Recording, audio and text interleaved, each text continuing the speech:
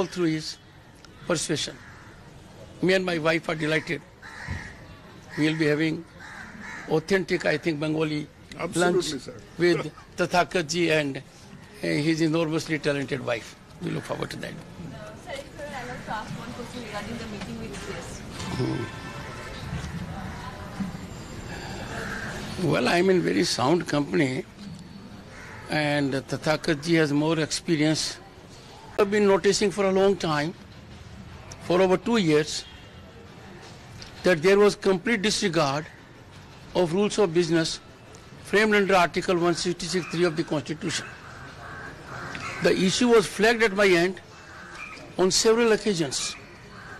Already 21 cabinet decision that sought to convene assembly at 2 a.m. on 7th March, I found that there were transgressions. I directed summoning of the assembly on 7th March at 2 a.m.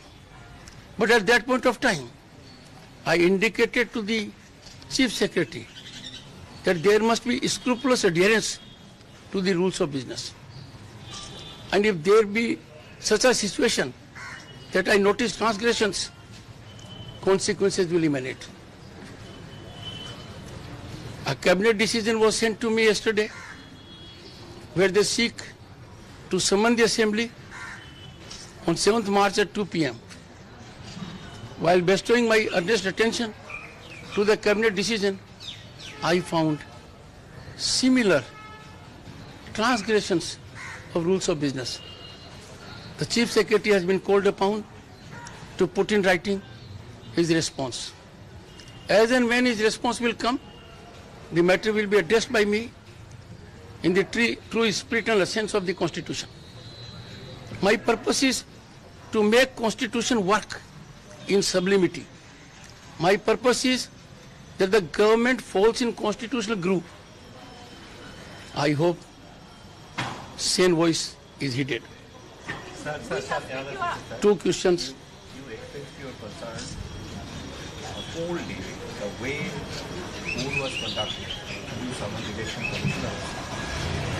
Is